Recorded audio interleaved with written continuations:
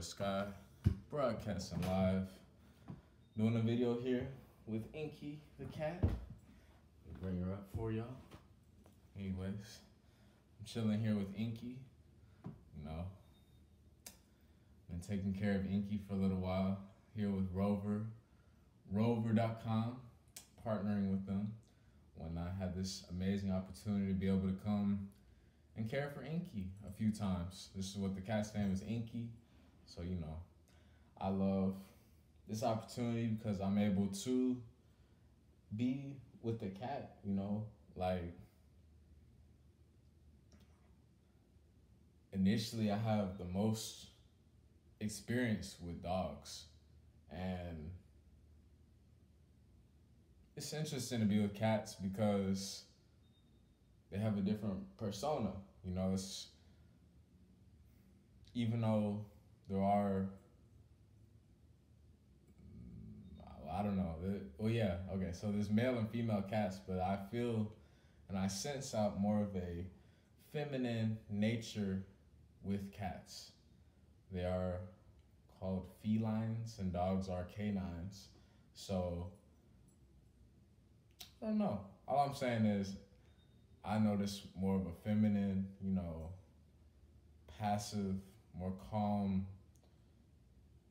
smoother kind of connection and vibes from cats. And yeah, I'm no big, perfect expert over all this stuff. I'm just saying from my experiences, because some people, our experiences, but I'm saying sometimes, you know, it's cool to be around other animals.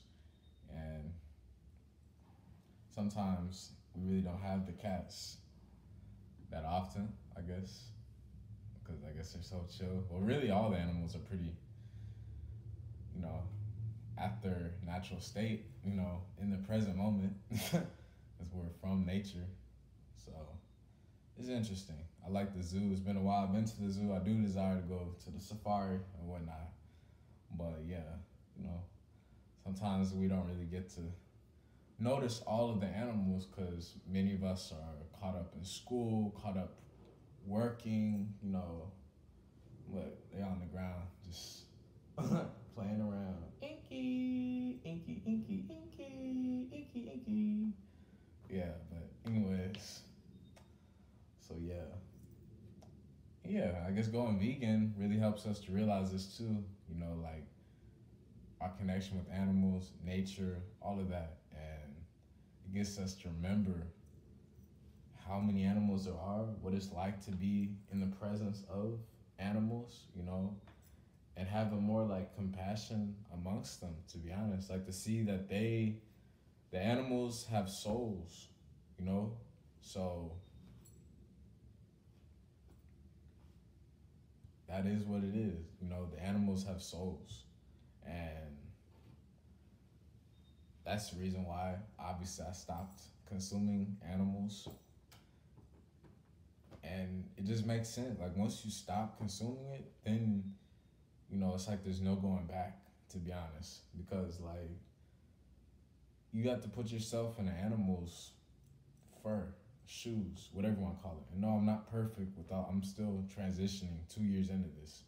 It's just, I'm saying, like, you know, you put yourself in any life form shoes. You know what I mean? And it's like, would you just want to be slaughtered out of nowhere, like kidnapped and slaughtered out of nowhere, you know, and eaten? No, you wouldn't. Nobody would. So that's the point I'm making about that. You know, like, you really know it's compassion. I I'm not trying to tell people to do this or that. I'm just speaking the truth, honestly, because it's like once I went vegan, it's like it's no going back. And even that whole vegan road can be a bit challenging as well because there's so much resistance from the rest of the planet who's not vegan, you know what I mean? But then you start to see what's up, you start to really fly away and see that, you know, we become lighter and we're like a butterfly flying away from the masses. You know what I'm saying? So that's what I've been noticing along my voyage, along our, that's what we have been noticing along our voyage. Yeah, You know, like nothing is the same. Like Drake, shout to Drake, nothing was the same for real. For me in the soul, no, stop, Inky. Stop. For me, it's like nothing was the same, is the same. Like when you go vegan, plant based, because you really see life in a new way, you know, in a more organic, calm, still way that requires a lot of patience and spiritual work. You know what I mean? For real. And I was I'm able to sense that out to be honest because there's been many times where like you know I might have you know just healing, you know what I'm saying? Healing. Healing in general and like it's helping me to become a better person interacting with other life forms, especially animals, first and foremost. Because, like, you know, like, I have a client, she's actually our neighbor, and I checking on the dog and the cat, and the dog's actually deaf. You know, it doesn't hear. Its ears are gone. Like, well, it has ears, but it doesn't hear. You know what I'm saying? And I remember she wrote a little note about that for me to be able to, you know, gently locate the dog so we can go walk, you know, so it's not like I'm startling or scaring the dog because how are they gonna know I'm coming, you know, until they feel me touch them or, you know, feel a strong, strong vibration or something like that. So it really helped me paint a new perspective because maybe if I was handling, you know, my own stuff, my own problems, my own, you know, emotions and stuff, drama, whatever, not even drama, just my own mishaps and stuff that I'm going through in life. And maybe I'm not all the way super positive and, you know, pure bliss and happiness at that moment. But then, you know, when I go into this new environment to go take care of the dog, you know, instantly just, you know what I'm saying? Not a mask, but just like, you know, my senses, like, oh, wow, okay, I'm in a new, I'm in a new environment and life forms in here. You know, like don't bring your baggage or that bad heavy energy towards a dog, obviously. You know what I mean? And like it really just paints a new picture, you know what I'm saying, to get us out of that, you know, staying stuck on heavy energy, you know, and thoughts like that to where it's like, you know, presence to where it's like, you know, look what's in front of you, you know, let's adjust to the situation, the scenario. And I guess that's what animals help out. And also, when I'm boarding, as I'm boarding animals, dogs, you know, like it's cool because sometimes I'll be alone. Well, a lot of times I'll be alone. Recently, you know, I, mean, I still hang with my friends. I just came out with my friends last night, you know, just chilling though, meditating. And then like, you know, sometimes when we're at home alone though, and we have like a few dogs, you know, it helps out because it's like sometimes we may be just overthinking so much, lonely, you know, confused, sad, whatever. And like it's cool because the animals, they don't care. You know what I'm saying? They're just there to like support us, honestly. You know what I'm saying? Like they'll be super happy throughout a lot. You know what I'm saying? I've seen dogs like show a small amount of aggression and a few seconds of attempting to begin fighting with each other, you know, jumping on each other, but obviously I was there to be able to prevent that and create the space amongst them to create the peace so it doesn't escalate any further, you know. But like I noticed that you know, when it's calm, it's cool, obviously. But I was saying with the whole fight thing, you know, when I saw that happen, when it happened, and it's happened a few times because different dogs and different animals and different people all have different backgrounds, different upbringings, different childhood experiences, traumas, you know, food consumption, all types of factors, you know, that can be weighing heavy on the life form, you know what I'm saying? On their physicality, their emotions, their spirituality, all that stuff, and can be hurting them and have a whole bunch of pain and hurt and disease and sickness within them. You know, I'm still overcoming all this. But I'm saying like that in general for all life, you know, we gotta be able to see each other at eye level. You know what I'm saying? Like to see people where they are, you know, not to be so hard on them or whoever whatever it is, animal, whatever, obviously. Be understanding and just, you know, still keep the peace though. And that's something I'm learning and realizing. And I noticed especially with dogs too, because after they fought, like not they didn't fight, okay.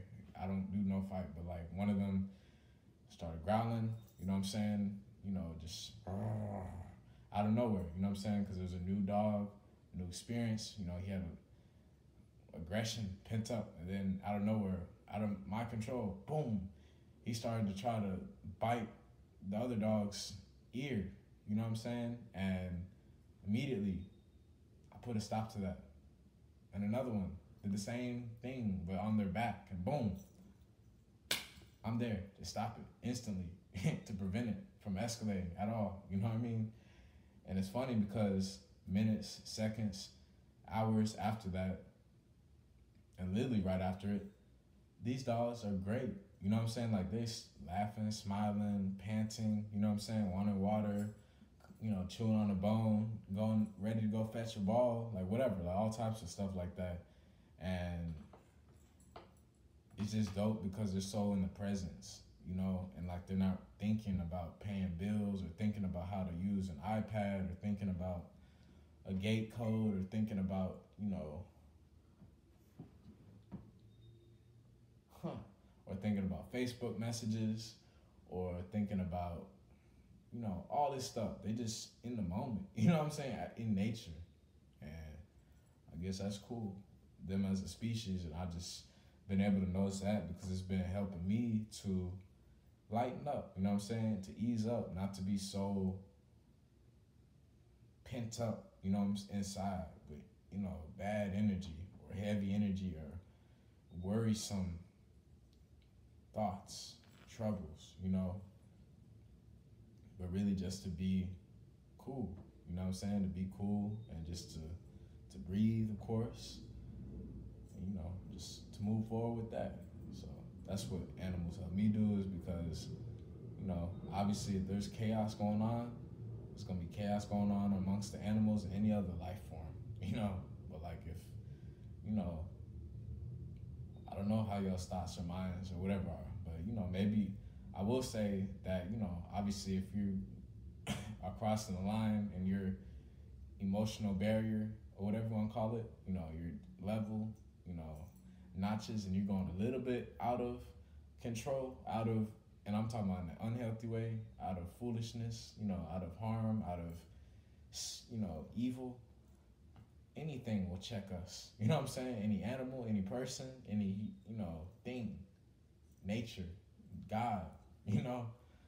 So that's true. That's common sense as well. That's probably why all these, well, I don't even watch the news for long, many years but that's probably why all those people talk about dogs biting this or that or animals doing this or that to humans.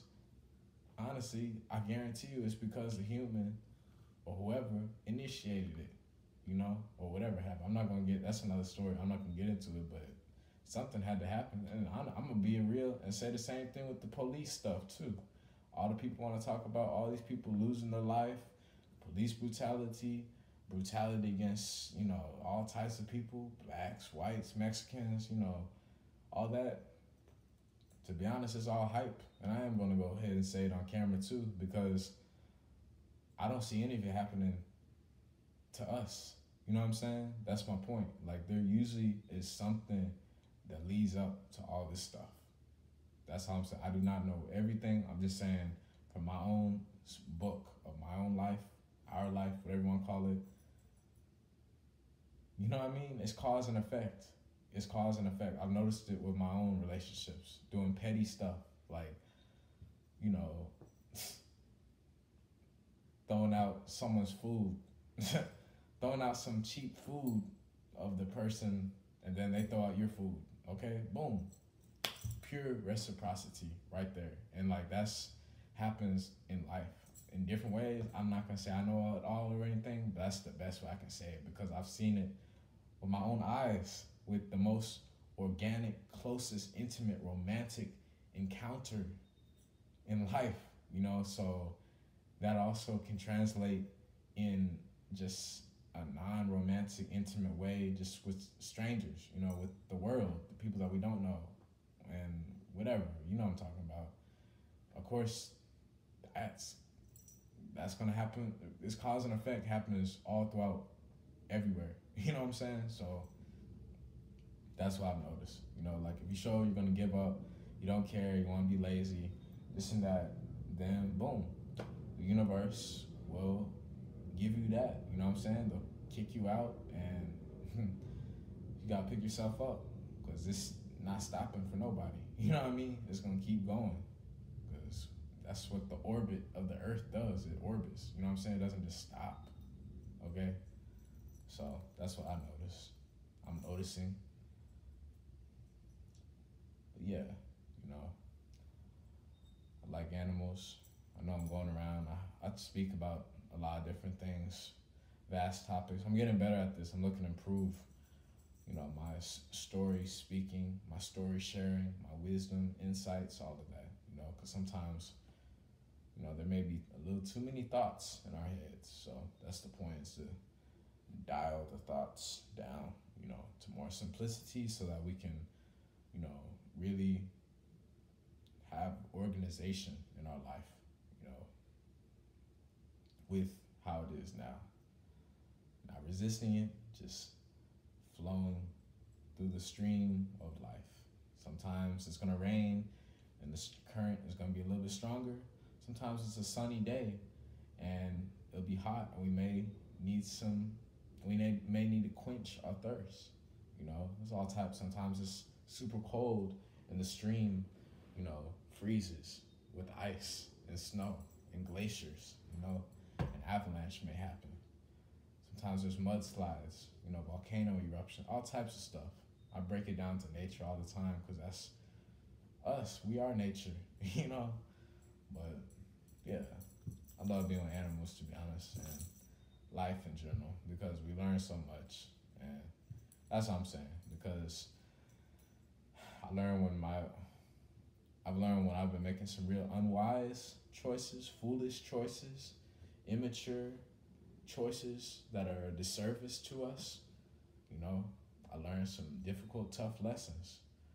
And also, I learned that maybe when I'm just doing the best I can, or maybe I'm still a little sad or down or, you know,